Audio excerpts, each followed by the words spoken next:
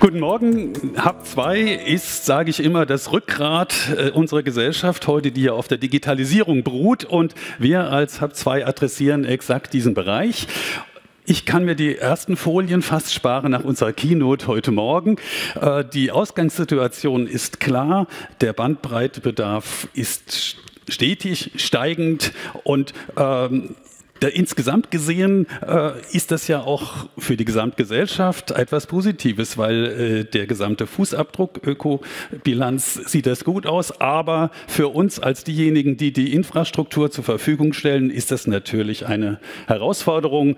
Ähm, der Trend ist klar, Bandbreite steigt und wir können gar nicht so viel an Effizienzverbesserung erreichen, um diesen starken Anstieg auszugleichen. Das heißt hier der rote Pfeil, der Anstieg. Und was wir an Effizienzsteigerung hier hinbekommen, ist der grüne.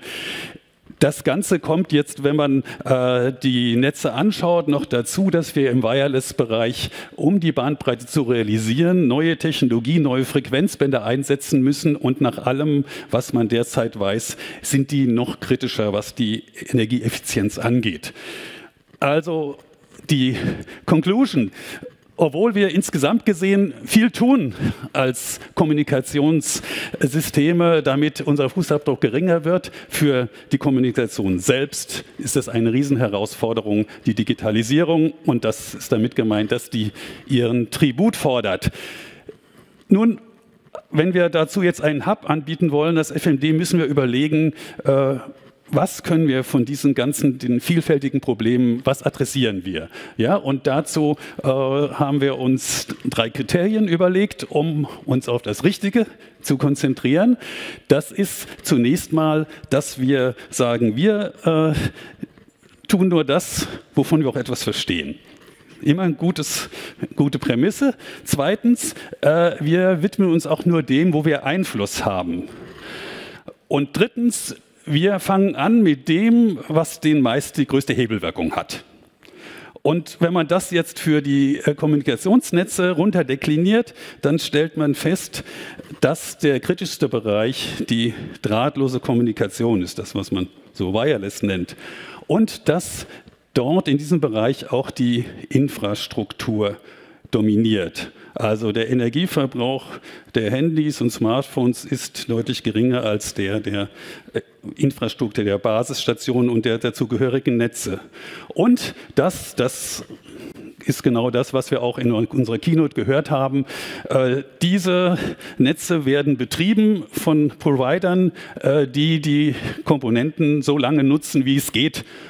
Und deshalb ist der Einfluss der in der Ökobilanz der Herstellung so gering, dass man ihn eigentlich äh, fast vernachlässigen kann gegenüber dem äh, Betrieb bedingten, ja, dem der Usage-Anteil. Und äh, dazu kommt, dass auch der Energieverbrauch das dominiert.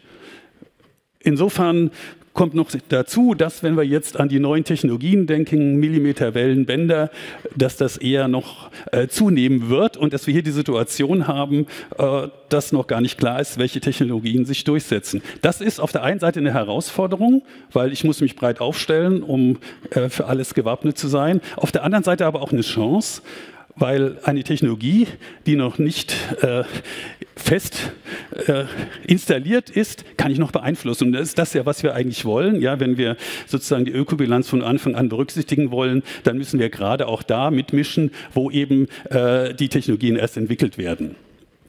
Deshalb unsere thematische Ausrichtung als Hub.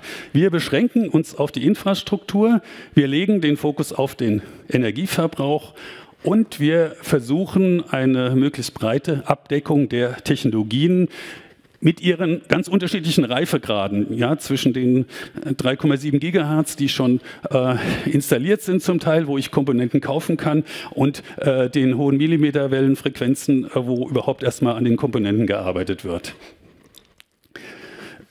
Die Arbeitsfelder sind dementsprechend unterteilt. Wir haben auf der Ebene der Netze 5G-Testbett. Hier sehen wir gerade hier über die Straße sozusagen, ja, TU Campusnetz, dort hängen schon an den Laternen die Basisstationen dran.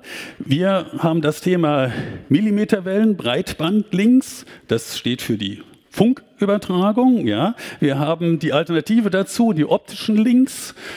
Und wir haben als Querschnittsthema Ökobilanzierung. Das alles ist ja die übergreifende Prämisse, unter äh, der das abläuft.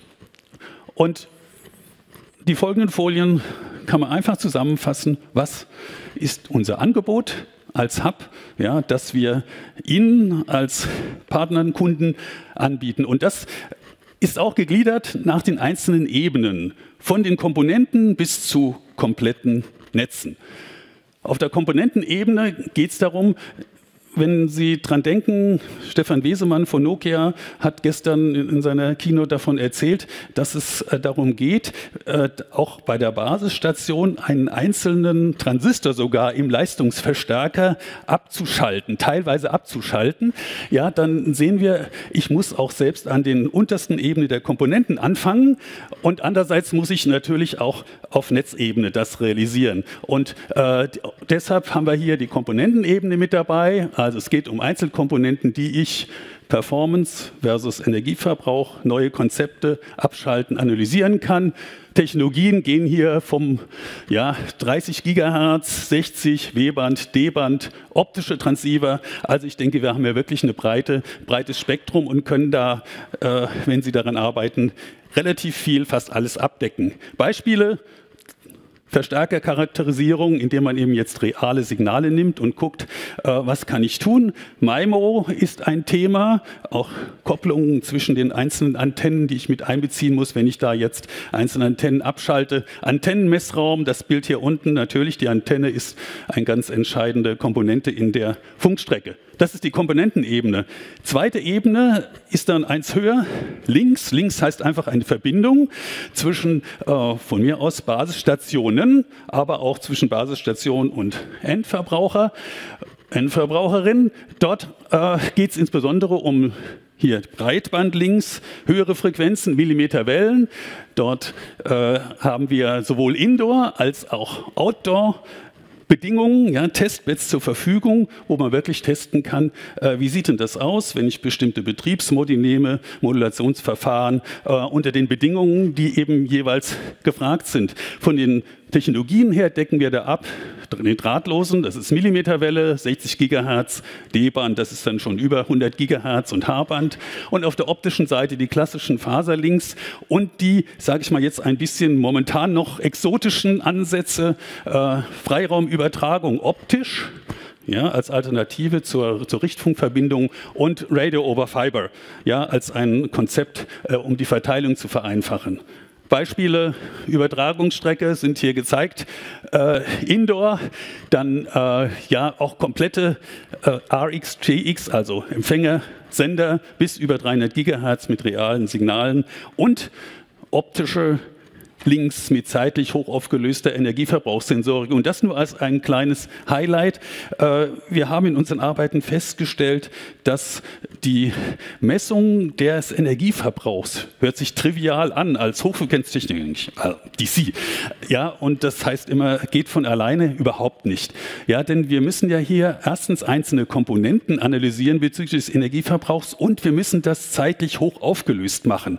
Ja, dass ich Tag und Nacht unterscheidet, das ist natürlich einfach. Da gucke ich auf meinen Zähler. Ja, aber wenn ich jetzt auf einer sehr feinen Zeitskala, die dem derzeitigen Datenverkehr, dem Traffic folgt, dann sind plötzlich die klassischen Energieverbrauchsmessungen sehr schnell am Limit. Ja, und ich muss schon ganz spezielle, dedizierte Komponenten nehmen, um das zu messen und hinterher auch auswerten zu können. Erzeugt auch enorme Datenmengen, mit denen ich umgehen muss. Also so viel nur als äh, kleine Glimpse hier. Und wir sind jetzt auf der Netzebene, ja, also wenn ich wirklich äh, von, von mir aus Abschalten von Basisstationen, Steuern der Kapazität von Basisstationen auf Netzebene austesten möchte, dazu gibt es das Netz hier äh, auf, der, auf dem TU-Campus hier ganz in der Nähe.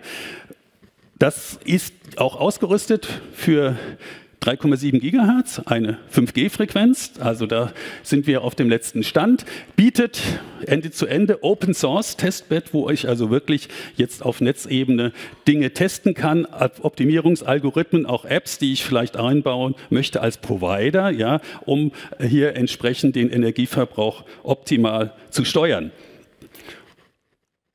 Vorletzte Folie, Ökobilanzierung. Auch hier ein, ein fancy Feature. Jetzt geht es darum, ich möchte äh, die Ökobilanz jetzt der Herstellung so einer Platine gern äh, generieren und da gibt es optische Tools. Ich mache ein Foto meines Moduls und dann gibt es das Software, die identifiziert die Komponenten und wenn ich dann eine Datenbank habe mit den Komponenten und deren Daten sozusagen, dann kommt hier die Bill of Materials, die kommt dann hier automatisch raus. Also auch in dieser Hinsicht können wir Ihnen was bieten und damit bin ich äh, mit der letzten Folie. Ja, was äh, ist es? Das sind die Validierungsprojekte. Sie haben schon im vorherigen Vortrag gehört.